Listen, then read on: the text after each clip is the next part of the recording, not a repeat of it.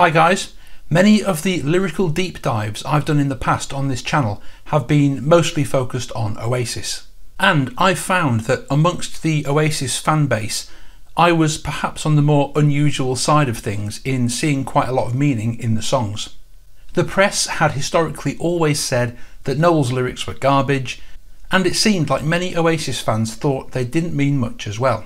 When I started looking at the Beatles, however, bloody hell, I officially met my match. Because while a small subsection of Oasis fans can lean towards hating any kind of intellectual analysis, I discovered that Beatles superfans are already like a hundred times further off the deep end than I've ever been on any band ever. And I also discovered that just as long as you don't take it seriously, all the Beatles legends and myths are a lot of fun to look into. My last video on the Beatles was a deep dive and lyrical reinterpretation of Sgt. Pepper. And after making it, a ton of people got in touch with me to make me aware of a kind of secret song that's on the album that is considered to be part of the Paul is Dead conspiracy. A secret 14th song on the Sgt. Pepper album, which is accessed by playing track 12 backwards.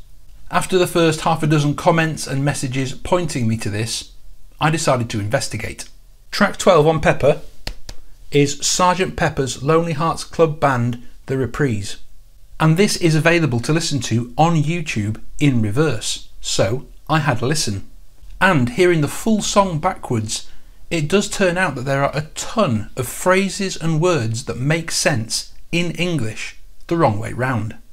But as is often the way with kind of backwards songs, you can't quite make it out perfectly. So I decided to have a listen to the isolated vocals from that track to take them out on their own, flip them around, and have a listen.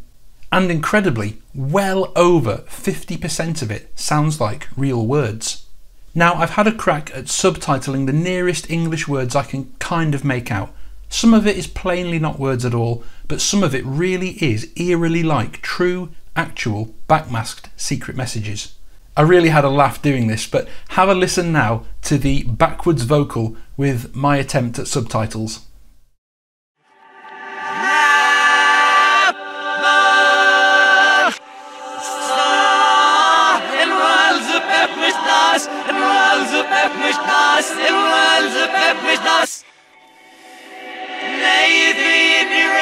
Teksten Na voksna en rally run and lose pepnish nas Nakes na weakness gal you Na voksna en runs a pepnish nas And runs a pepnish nas And runs a pepnish nas And runs a pepnish nas And runs a pepnish nas Orgus nas is kapirosu Na voksna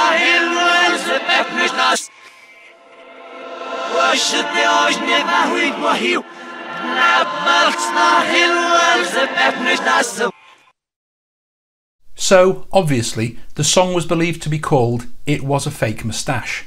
And the album came with a cardboard cutout of a fake moustache. What the hell? In a previous video, I looked at the backmasking Easter egg in Free as a Bird, where one way round it's John Lennon saying, turned out nice again, and the other way around it says made with John Lennon. It really is insane how that works. But here we have not just a little phrase, but a whole song that seems to kind of mostly work fully in reverse. And just to make everything even more confusing, listen to this from many years from now by Barry Miles. In November 1966, Paul decided to take a driving holiday in France. Eager to escape the constant attention of fans, he wore a disguise consisting of glasses and a fake moustache, created by Wig Creations, the film cosmetic company used by the Beatles on A Hard Day's Night. Paul said, They measure you and match the colour of your hair, so it was like a genuine moustache with real glue. I just wandered around, and of course nobody recognised me at all. It was good. It was quite liberating for me. And so, after Paul and roadie Mal Evans went to France, they then went to Kenya before starting work on Sgt. Pepper's. The odds that this song backwards says it was a fake moustache and that the album came packaged with a fake moustache by coincidence are absolutely astronomical. So, to be reasonable, I think we have to assume that this was planned. And here's how I think it all came about. At the stage when Paul came up with the Sgt. Pepper idea, the Beatles were already very comfortably rich and could afford to take their time. In the song Rain, they had experimented with backwards tape and begun to take an interest in music and sounds played in reverse. I suspect, with time on their hands, psychedelic drugs freely available, and space to experiment, they began playing around recording things and playing it backwards to see what it said. I wonder if Paul played around with dozens, if not hundreds, of different phrases at home on a tape player, forwards and then backwards, just mucking around to try and find something that worked in both directions. And I wonder if, after hours or days of this, he finally hit upon Sergeant Pepper's Lonely Hearts Club Band being It Was a Fake Moustache backwards and went, That's it. A word that says one thing forwards and a different thing backwards is what you would call an audio anadrome. And though the whole thing sounds almost supernatural, it's not. It's actually surprisingly easy to figure out a little bit of backmasking on your own.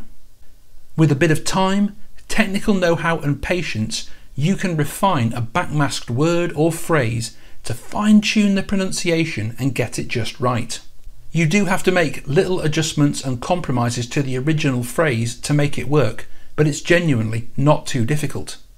And can you imagine Paul's excitement when he hit on this? Imagine a creative artistic mastermind like Paul McCartney stumbling on this. He must have known it would drive people nuts for decades, which of course it has. That Mr. McCartney is one seriously clever bastard. Now, of course, as always, I'm just having a bit of fun here, but I thought just for a laugh, I would leave you with a full playthrough of the song, with the Beatles singing backwards, but all their instruments turned forward, section by section. Other than that, I've made very few edits. I've taken out the audience noise and I've kind of nudged the vocals back onto the beat, but that's it.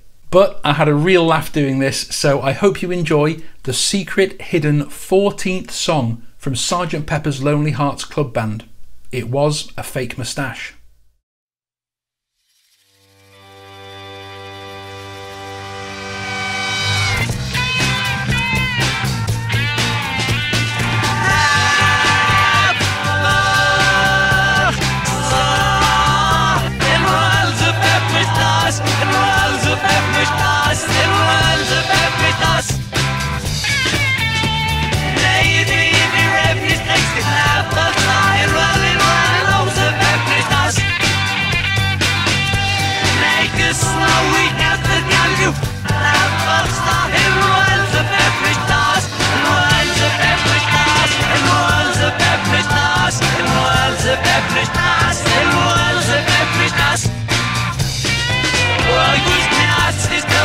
Nasu.